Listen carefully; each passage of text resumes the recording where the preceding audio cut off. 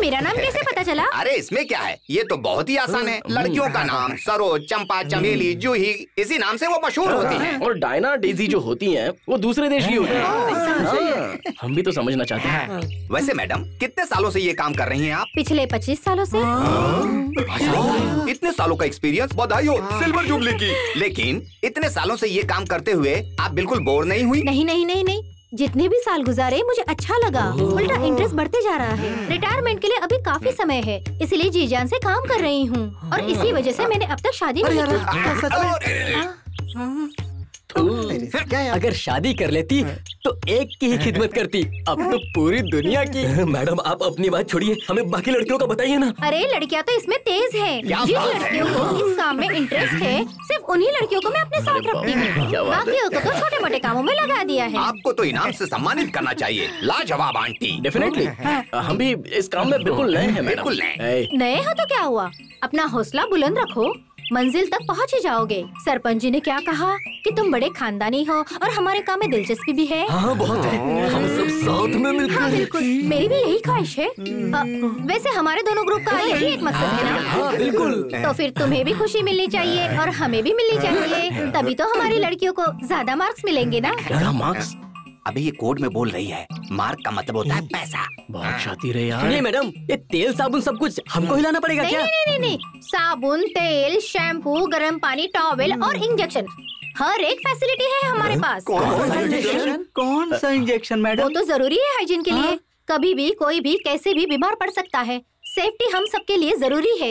गाँव वालों को इस बारे में पता नहीं लेकिन हमें तो पता है ना? अच्छा इस सर्विस के लिए हमको कितने पैसे देने होंगे? वो तो आपकी मर्ज़ी। आपको जो भी देना है खुशी से देना। हम मना नहीं करेंगे। आपको देखकर लगता है कि आप कम नहीं देंगे। बेशक देंगे। लुटा देंगे। क्या बोल रहा है? तू शांत रह। अच्छा हम कल मिलेंगे। हैं बहुत मज़ा है चलो हाँ, वही तो। बिल्कुल सही बोल रहा तू सरोज हाँ? जरा सुनना हाँ? बाय बाय इतनी उम्र होने के बाद भी तुम जवान लड़कियों की तरह एकदम हसीन लग रही हो। तुमको जो पसंद आए उसे चुन लो लेकिन मैंने तो तुम्हें हाँ? ये ये क्या बकवास करके गया? मैडम आप समाज सेवा की बात कर रही थी। वो लोग दूसरी सेवा की बात कर रहे थे। कौन सी दूसरी सेवा? मैडम आप समझी नहीं? हाँ? इनकी इतनी हिम्मत कहाँ जा रही हैं? आप सरपंच जी से मिलकर बात करूँगी इस बारे में। कोई फ़ायदा नहीं होगा। आप चाहे कुछ भी कर लें पर सब अमीर का ही साथ देते हैं।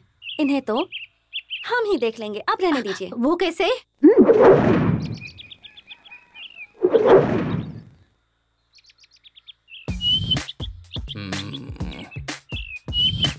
हम्म। क्या है? ये है।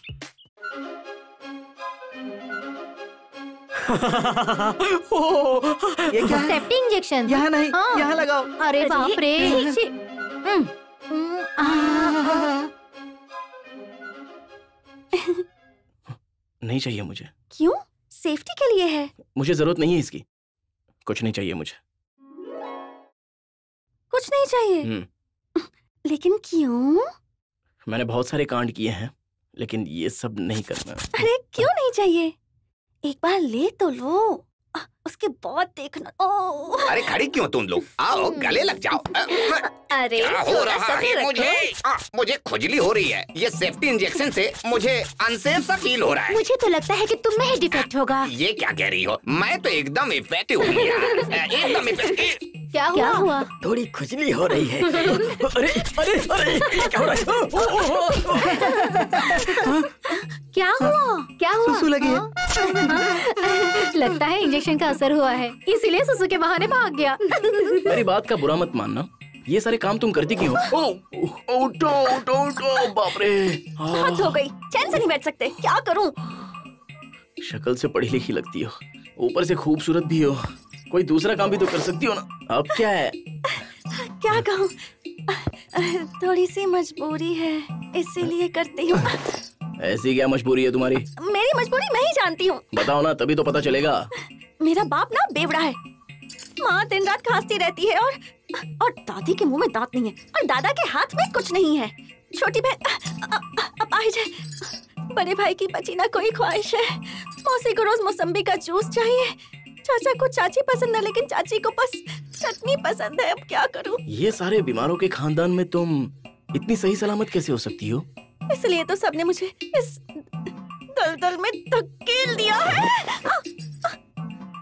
क्या हुआ? अरे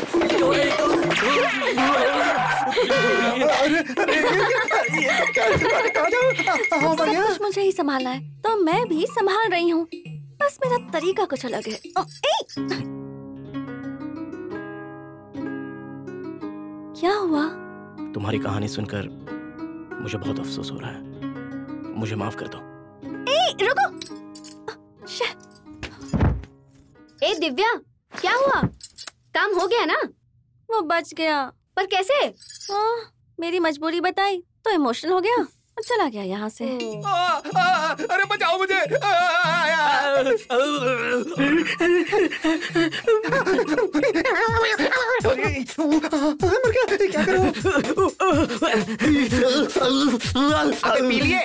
तेरी रात कैसी कटी आधी रात में भाग गया था। बहुत खतमल थे वहाँ पर। लेकिन तू बता तेरी रात तो बहुत अच्छे से कटी होगी ना। हाँ क्यों नहीं कटी अच्छी से? मुझे लग रहा था कि मैं मिसाइल मैन हूँ और आग में घिर गया हूँ।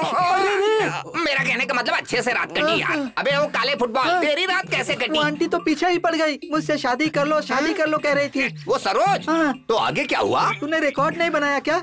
नहीं भाई नहीं बनाया मैंने। लेकिन कल रात तो मैंने रिकॉर्ड तोड़ दिया। ऐसी बात है तो? ये खुजाने की आवाज़ क्यों आ रही है तेरे पास से? मैं नया रिकॉर्ड बना रहा हूँ। सच कहूँ तो पैसा वसूल रहा थी भाई लोग। उस होटल वाले ने एकदम सही कहा था। वापस जाकर उसे टिप ज़रूर दूँगा मैं। अरे वो इंजेक्शन तो कमाल का था। सब खुजली से बेहाल हो गए। अरे इंजेक्शन में मैंने मच्छर का खून मिलाया था। इसलिए उन्हें इतनी खुजली आ रही थी। पर मिटाएँगे कैसे? अरे बस इतनी सी बात वो पौधे की पत्तियाँ लगा ले तो खुजली मिट जाएगी। हाँ मैंने भी सुना है कि पौधे की पत्ती लगाने से खुजली मिट जाती है। मैंने ये बड़े बुज़ुर्गों से कहते हुए सुना है अगर तुम्हारे वो आए तो उन्हें कह देना मुझे लगा मेरा पोपट हुआ लेकिन तुम सबको देखकर बड़ी खुशी हुई अरे क्या कह रहे हो हम सब लोग तो साथ में हैं लगाओ। जल्दी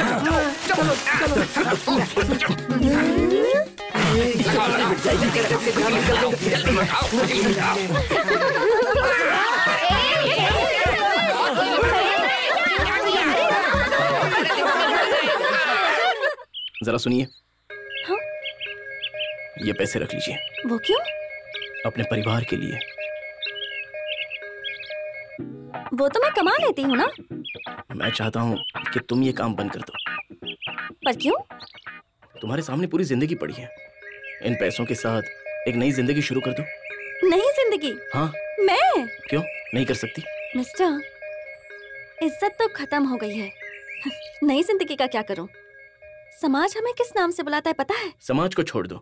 जो समाज तुम्हारी इज़्ज़त ना करे उस समाज का कोई फ़ायदा ही नहीं है। ऐसे लोगों के बारे में मत सोचो। समाज के बारे में सोचकर अपनी ज़िंदगी बर्बाद मत करो। अरे वाह! क्या भाषण देते हो? हाथ तो मिलाओ। अगले मिनिस्टर तुम ही बनोगे देख लेना। मज़ाक मत करो और ये पैसे रख लो। देखो मैं और मेरा परिवार इज़्ज़त की रोटी खाए उसका बस एक ही तरीका है। वो क्या है? मुझे मरना होगा। वैसे एक और तरीका है। शादी करके मुझे अच्छे से ज़िंदगी गुजारनी होगी। तो कर लो शादी। कौन करेगा शादी? वो भी मुझसे। ये तो फंस गया। मैं करूँगा तुमसे शादी। हाँ?